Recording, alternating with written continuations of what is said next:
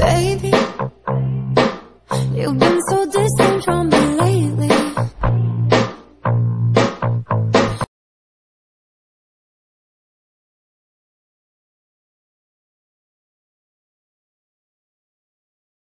Welcome back to my channel. We're doing a quarantine meatloaf recipe.